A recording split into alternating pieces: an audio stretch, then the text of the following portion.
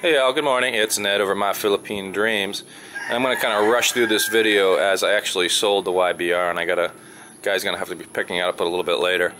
I had picked up the uh, Kawasaki Rouser 200 NS about a month ago and I kept both of them, uh, the YBR and the 200 because I was going to try to decide which one I wanted to keep. Both of them have their pros and cons, but at the end of the day, when all is said and done, I've decided to keep the 200 Rouser. Now, real quick, the reason I am keeping the Rouser is mainly because of the power. This has about 150% more horsepower than the YBR 125. It's got about 200% more torque.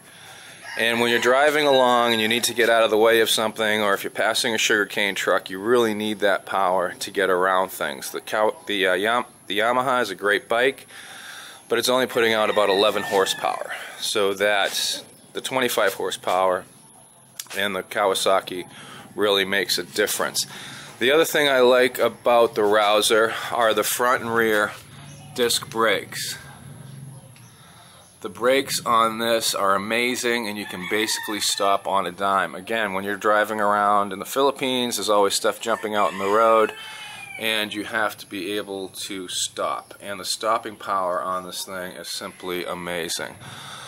The throttle delivery, the power across the throttle range is really good on the Kawasaki.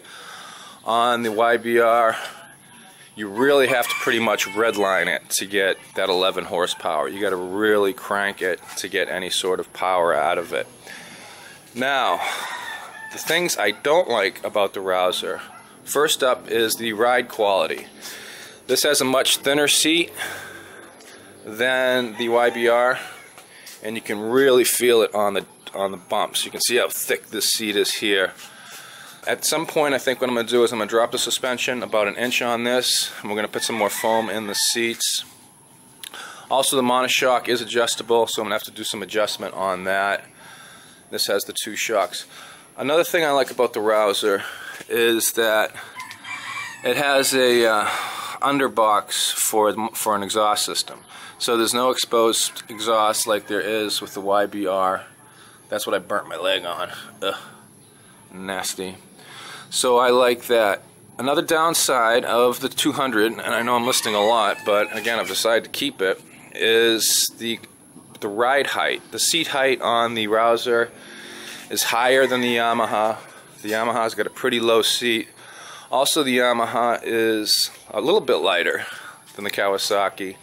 And the final thing that I like about the, y, the YBR is the turning radius. The turning radius, because of the way the front forks are set up, is excellent. You can basically turn on a dime. On the Kawasaki, you're not doing a three-point turn, you're doing about a five to seven-point turn. Also, the off-road capability on the YBR is a little bit better. Or no, let's just, let's just say better. It's better than the, the uh, Rouser. The Rouser's got street tires on it. The YBR has got kind of like off-road dual-purpose tires. Um, but again, you're, if you're if you're going off-road, you're probably going to need a, de a dedicated off-road bike, anyways. I also like on the Rouser. I also like the front headlight. It's HID. On this, it's just a quartz halogen, so you get a much brighter light. Uh, and you can really know like I was driving the YBR around last night and I really noticed the difference. The problem another problem with the Kawasaki is it's a lot more complicated. From the engine it's got the triple spark it's got liquid cooling on the oil system. The display is all digital and that could cause some problems the YBR is a very basic basic machine uh, it's pretty simple. It's got the analog gauges. Um, so we're hoping that we're not going to have too many problems. Now, Kawasaki on the Rouser series, when they first came out, they had a number of issues, like with the spark plug. They used to have the spark plug cover angled at a 45 degree angle this way, and moisture used to get in there and used to cause problems. The older engines used to get vapor lock sometimes in the heat and uh, hopefully they've worked, we're going to find out, but hopefully they've worked those issues out.